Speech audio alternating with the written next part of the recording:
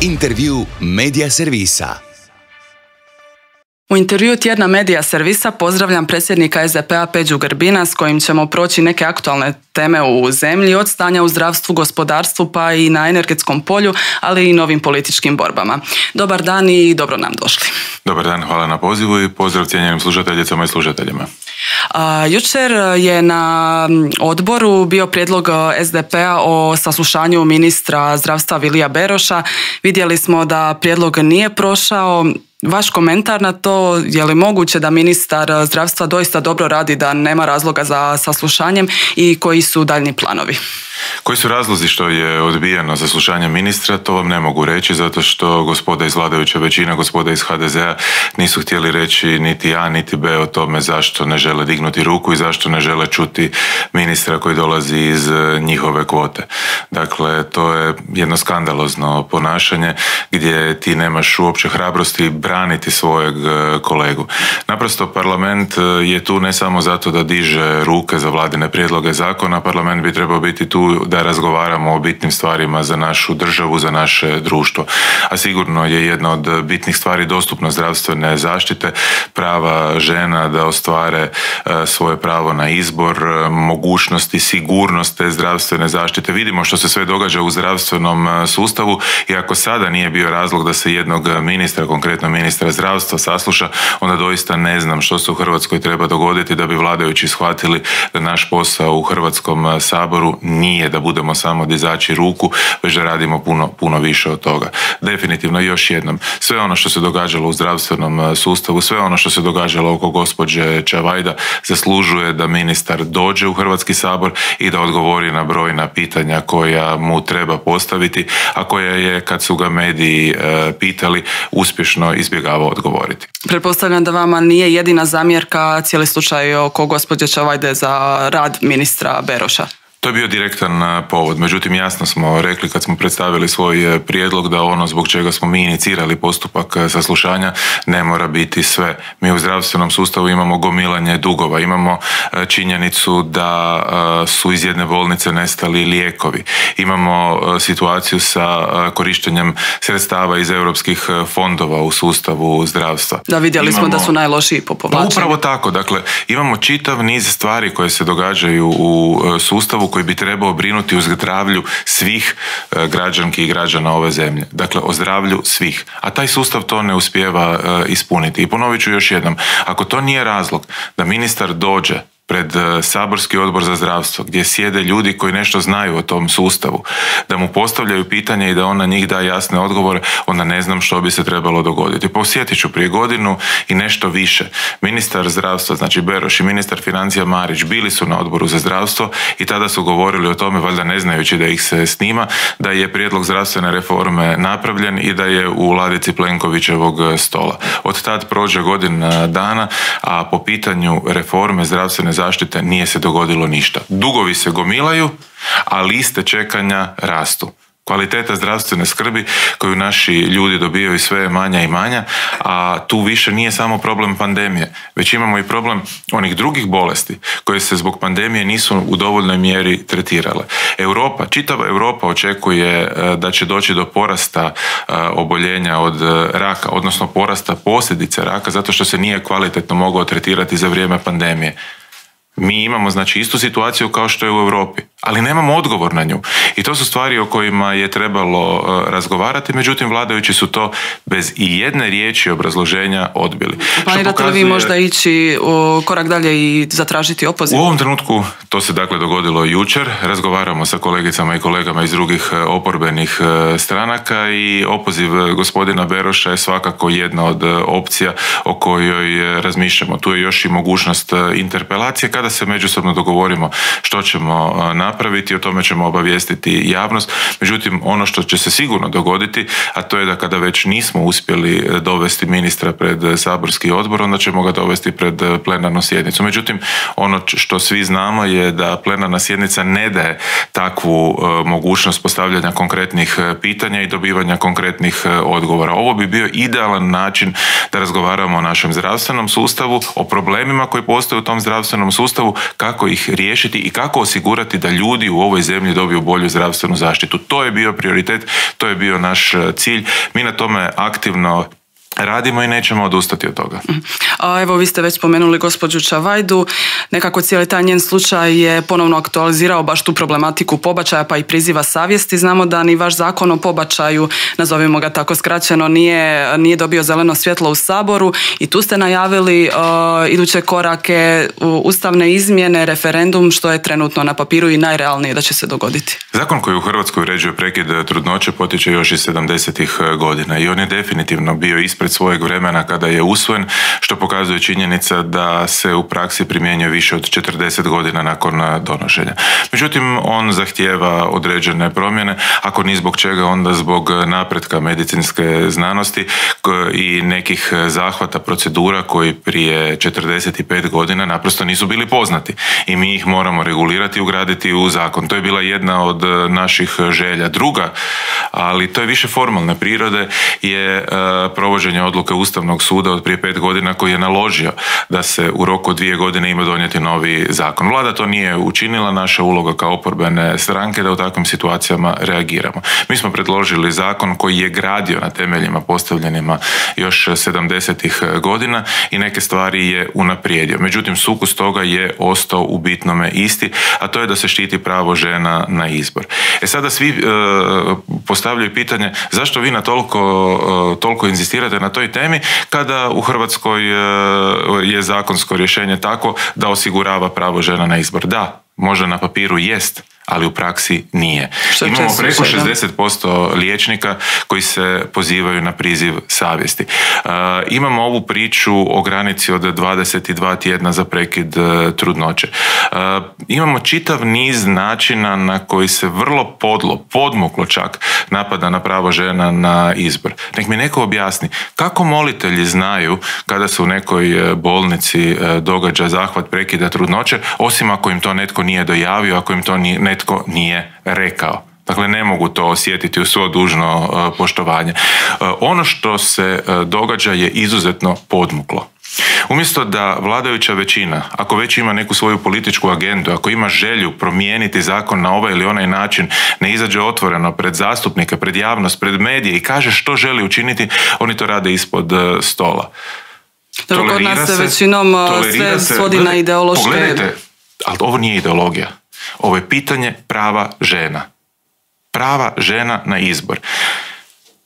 Kako je moguće da se vrši pritisak toliki e, na liječnike čak i u onim e, situacijama gdje oni ne bi imali priziv savjesti da, e, da ga ulože pa da ni oni ne rade u određenim zdravstvenim institucijama? Kako je moguće da se na liječnike vrši pritisak u određenim zdravstvenim institucijama ne samo za prekid trudnoće, već i ako žele raditi medicinski pomognutu oplodnju?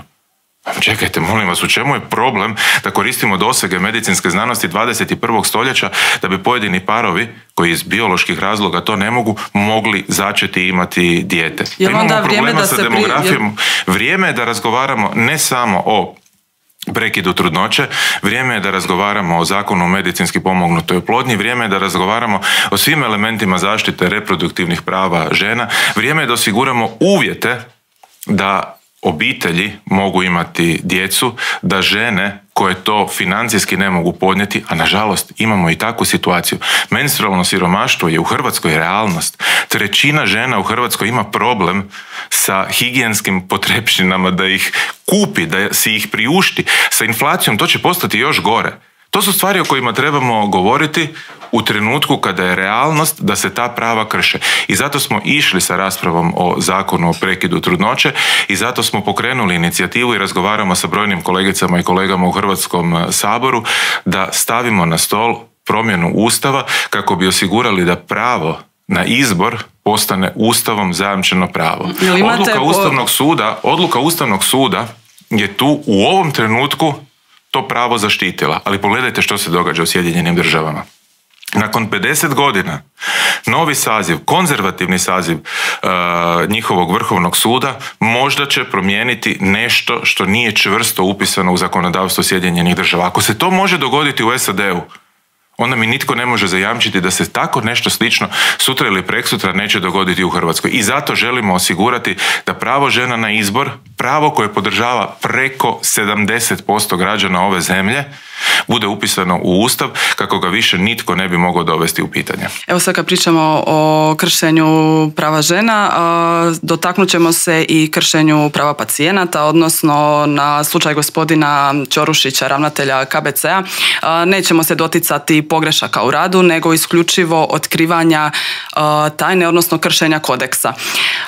Prekršio, ako se dokaže da je prekršio prava pacijenata, prije svega vjerujete li da će se to dokazati, odnosno da će taj postupak ići normalnom procedurom, jer znamo kako to kod nas funkcionira. Prije ovog slučaja sa gostovanjem, čini mi se da je to bilo u nedjeljom u dva, gledao sam dotičnog gospodina kako gostuje na otvorenom.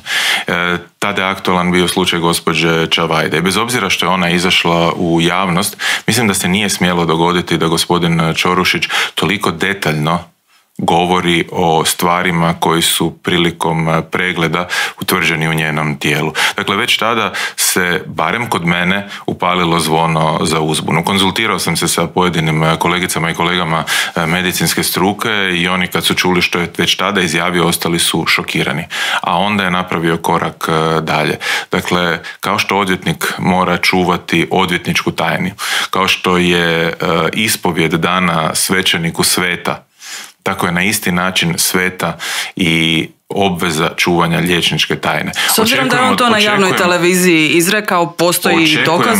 Očekujem od onih tijela koja su to, za to zadužena, prije svega se tu radi o liječničkoj e, komori, da u ovom slučaju pristupe sa dužnom e, pažnjom i da utvrde što se dogodilo i da nakon toga izreknu primjerenu sankciju. I tu Koja ću je primjerena sankcija? Tu, ne, tu ću stati. Dakle, imamo tijela, očekujemo od njih da naprave svoj posao koji je ovdje više nego jasan. Ne moraju oni e, istraživati, previše prolaziti kroz dokumentaciju. Dovoljno je da od Hrvatske radiotelevizije zatraže snimku tih dviju emisija, otvorenog i e, nedjeljom u dva i da poslušaju što je dotični gospodin rekao i da nakon toga postupe po zakonu i u skladu sa pravilima koje reguliraju liječničku struku.